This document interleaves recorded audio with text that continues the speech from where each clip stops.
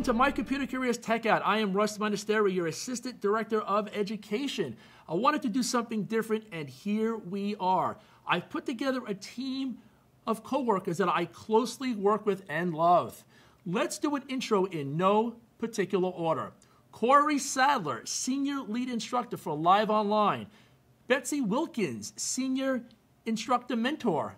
Andrea Rio, Assistant Director of Student Success. And Terrell Anthony, Executive Director of Operations for Cyber Tech High School. I would like to have a casual round robin conversation on topics for learners that are new to my computer career, new to information technology, and those that are returning to school. All right, question one, hot topics. Here we go. All right, team, are you ready? Ready. Ready. Student success can have several can have several definitions depending on who you ask. From your perspective, what qualifies a student to achieve to achieve success? Now, I'm going to start with Betsy. Betsy, what is your perspective?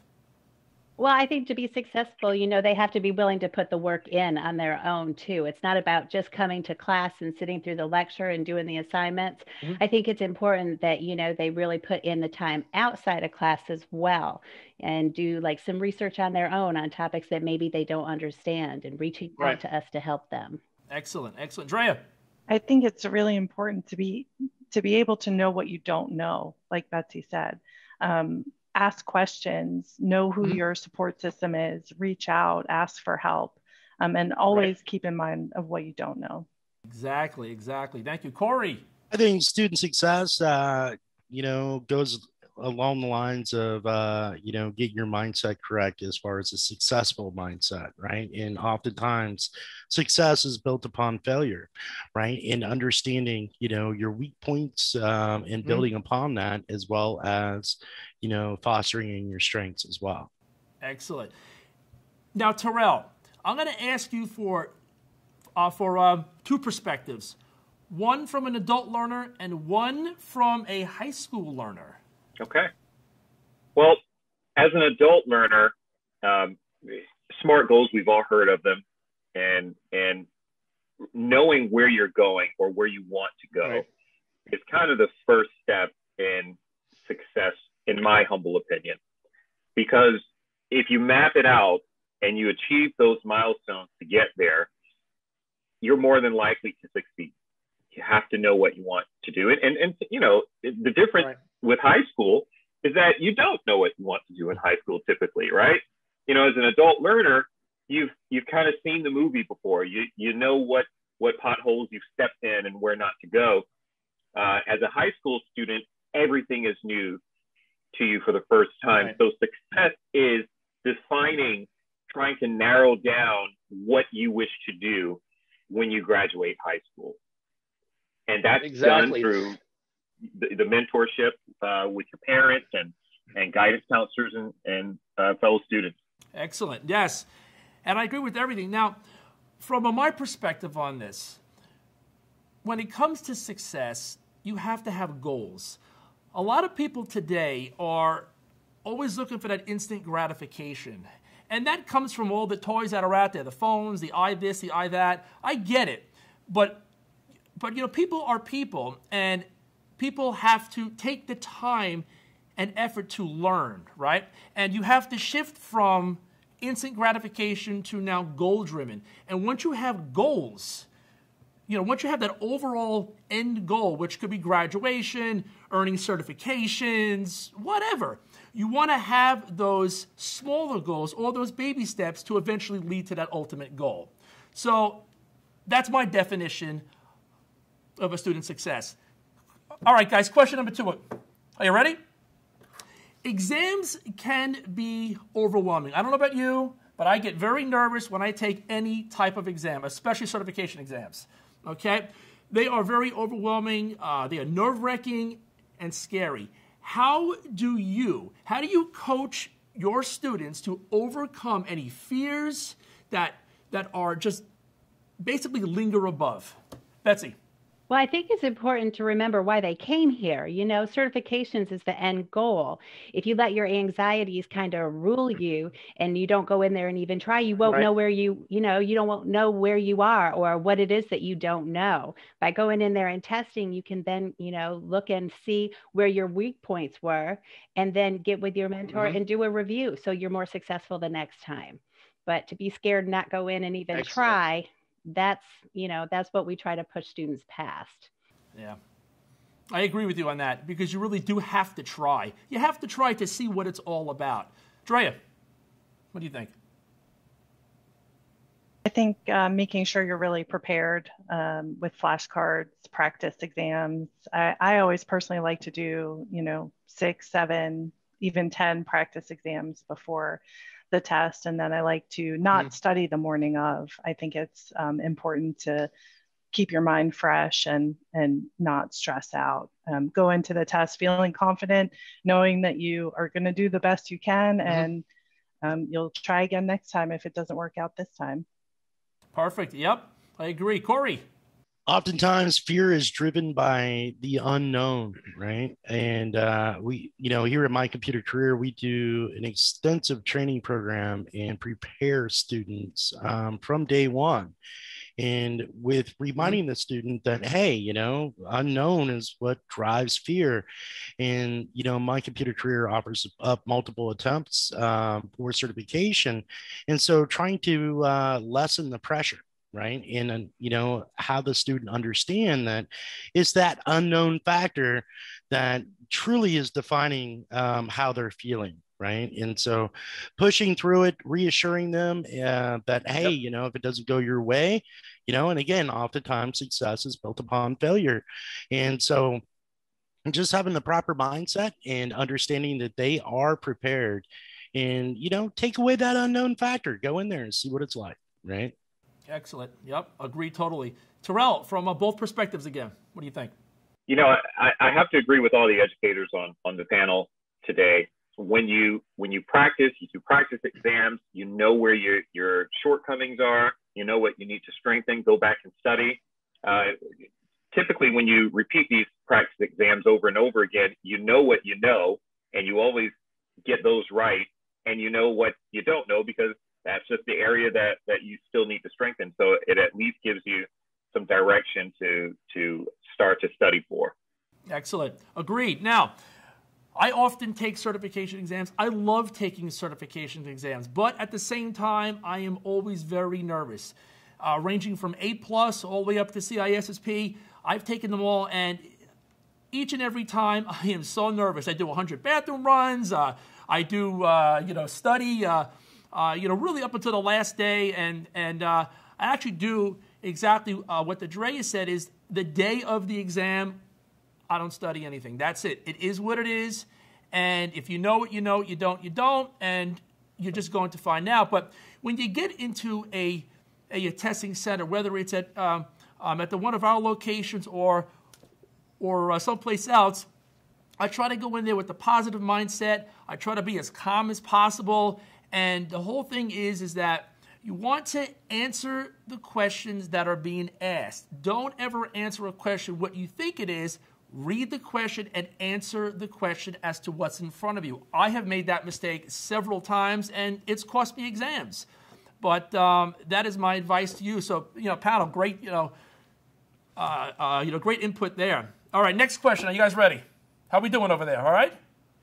All right, good stuff.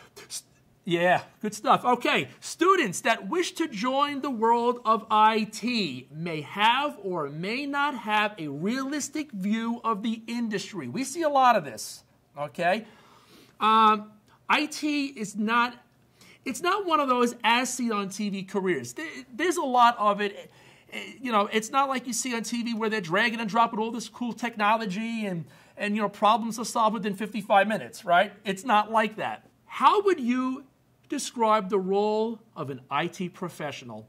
What career path in um, uh, what career path in IT can students pursue? Those are the two questions. Betsy, go ahead. Uh, well, I think that they can really pursue anything. You know, there's a, so many different areas of IT. And, um, you know, coming into the program, a lot of students don't know what they want to do. I think by going right. through the program and doing the different courses, they can see what mm. interests them and then start looking at jobs that focus on that area, you know? They need to have realistic goals though that, you know, like you said, it's not like on TV where all of a sudden you're you're hacking all the time. You know, there's mm. there's steps to get to that. And so, right. you know, set realistic goals that you may start out a little smaller than you want to, but as long as you keep learning and keep trying, you can reach the goal that you want. Exactly, exactly. Uh Dre? Uh, one of the things I always encourage my students to do early on um, is look for internships. Um, start ne- networking uh, on LinkedIn and yes. see what companies are interested in, um, make some connections, and see what they can do to get some experience. Um, that will help them uh, formulate what they would like to do a little bit better when they come out of school. So I think that helps. That's perfect. Corey, well, I think that, you know, IT professionalism uh, really comes back to general mindset, right? Um, basically, we're helping people, and you have to have that helper mentality right? You have to be okay with helping people. As far as pursuing uh, career paths uh, within IT, right? It really comes back to so many different genres that really fit one's personality. I mean, if you're into design, development is great, right? You can create something from ground up, right? If you're into networking, right? Into mathematics and stuff like that, right. you can pursue that field, right? If you're into system administration, right? And you are really mechanical in nature and you understand basic processes, that's a great field as well. But it doesn't negate the fact that it's a building block process, right? It's, you know, the role of an IT professional is constant education right? A lot of our certifications expire and they do require renewal. And we should often, you know, try to align ourselves with new technology, which then sends us into other certifications and, and stuff like that. So we're a career student really at the end of the day and in whatever path you choose um, you should often you know kind of evaluate you know uh, what yeah. your personality is is it you know development and so on and so forth i agree i agree Terrell, what do you have for us? Yeah, I, I've got to tell you that it's like phone a friend. When you are an administrator of some sort and your IT, uh, your stuff goes down, your network goes down, you're dead in the water. So when you contact that IT professional, they are the life uh, guard. They are the, the lifeline for you to get back up and running.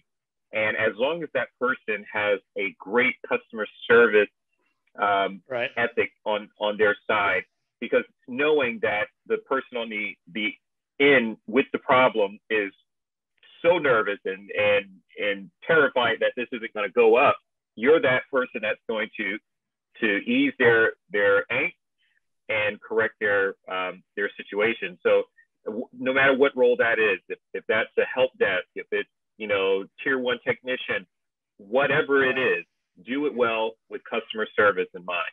Excellent. Now, Terrell, I have one question for you. Mm-hmm. What if I don't have any friends? Who can I call? IT is your friend. So that's that's the phone a friend, you know? Phone a friend, I got you. All right, good stuff. Good stuff. Hey, listen, that was great. You know, those are the questions that I had, and all the information that that uh, was provided here is so very true. It is so very true, and you know, depending upon what you want to do in you know in the industry, comes down to your everyday choices. Um, now, I recommend that for somebody that is starting out in the industry, I think the the um, uh, CompTIA A plus certification is such a fantastic cert, and I'm sure you know that you guys here in the panel can also agree. Um, that certification really visits many different areas of IT, and it'll get you thinking as to, gee, you know, what do I want to do, right, guys?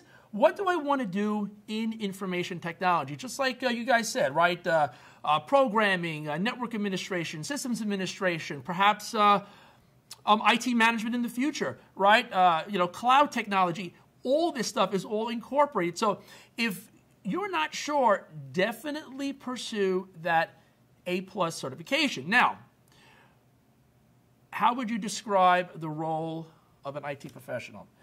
All the answers here, it's all correct. The, the, from my perspective, the role of an IT professional is you are there to do several things. One, you are there to support company goals and objectives, okay? IT is not a department where you are just going out and buying all this cool fancy equipment and playing all day. It's not like that. Uh, you are there to support the overall mission of the company. That's what they're there for. And also, IT is there to raise awareness. You're there to educate. You are a customer service representative, uh, just like you guys said. So you are there to to raise awareness and to get everyone on board when it comes to IT security and and aligning IT practices with again company goals and objectives. Hey, listen, we had a lot of fun. We reached the end of yet another informative video. If you like this video and want to see more tech out, give us a thumbs up and subscribe. Also, leave a comment on what IT topic uh, you would like us to cover on our next episode. Let's continue our conversation at Cybersecurity Lounge. I would love to hear from you. Thank you very much, everybody.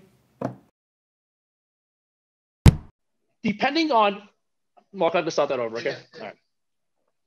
Student success can have several definitions depending on, start again. all these bloopers. oh, this happens all the time. Students, student success, don't laugh, Terrell, come on. How would you describe the role of an IT, uh, Mark, Oh man, I had that so good too. Yeah, you did. Now I'm angry, guys. Now I'm angry. All right. Yeah, All right. Right. Can we get IT in here? I'll be right there, Terrell. Yeah, I don't know what the heck I'm doing. I need backup. I need backup. Yeah. Let me do my phone a frame. Hey, let's port into his uh, his computer. What 3389? Oh, what did you hold on a second? I clicked the wrong button. Nope, that's the wrong one. Technical difficulties.